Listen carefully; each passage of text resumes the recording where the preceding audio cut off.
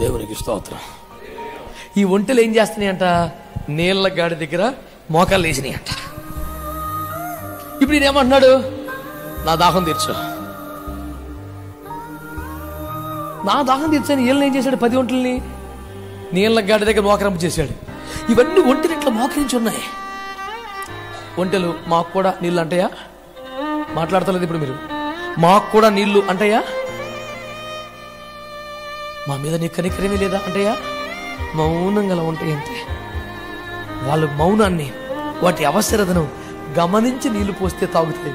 లేకపోతే అలా చస్తాయి. లోపల కొవ్వును కరిగించుకొని బతుకుతాయి. తప్ప నీళ్ళు అడగో తమ దాహమును తమ అవసరతను చెప్పని వాడే దైవజనుడు. స్తోత్రం చెప్పండి గట్టిగా. ఆయన అంటాడు అక్కడ మోకరించండి.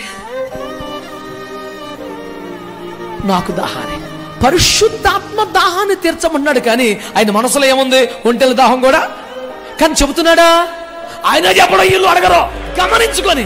అయ్యో ఈ సేవకుడికి ఇది ఈ సేవకులకి ఇది అవసరమేమో గమనించుకొని సేవకుల అవసరాలు తీర్చేవారే పెండ్లి కుమార్తె సంఘం. దేవునికి స్తోత్రం కలుగునగా.